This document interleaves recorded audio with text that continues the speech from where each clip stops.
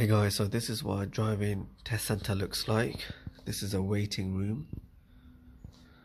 You'll be sitting here with your instructor. That's why there's two seats together, and the examiner will come out at exactly the right time. So it's quite, um, you can see quite dull here and depressing and grey. Probably needs a bit of update with the painting. Um, you can see there's pens they're there for a reason because you're going to sign the insurance paper when the examiner comes out. They're going to come out and call your name. So it's Mr. Smith here. You'll obviously pull out, you know, raise your hand. You say, Yes, I am. Sign the insurance paper. Then you'll be walking out with your driving examiner.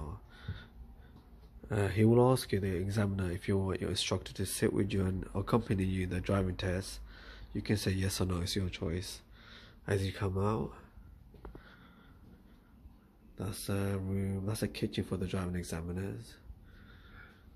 There's a bathrooms, not all test centers have bathrooms. This is a examiner's offices. Examiners only. If you need to speak to an examiner, please knock and wait. Let's come out.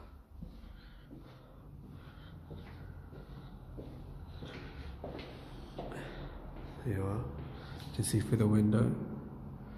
Let's come out anyway. So be coming out.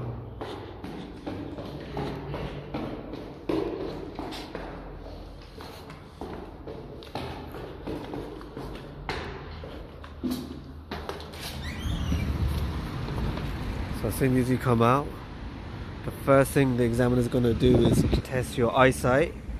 So be expected to read a number plate from about 20.5 meters away or 20 meters away.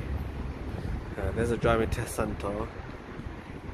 And as I said, they're going to ask you, or have, uh, if I haven't told you already, they're going to ask you one question about the car, the show me, tell me questions, which you can catch on our site, fmdrivingschool.co.uk.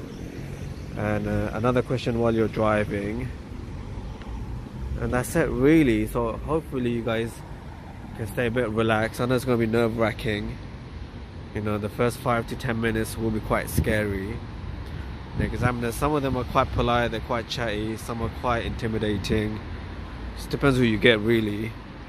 Make sure you practice around the area that you're doing your driving test so you can see what the roads are like. Let me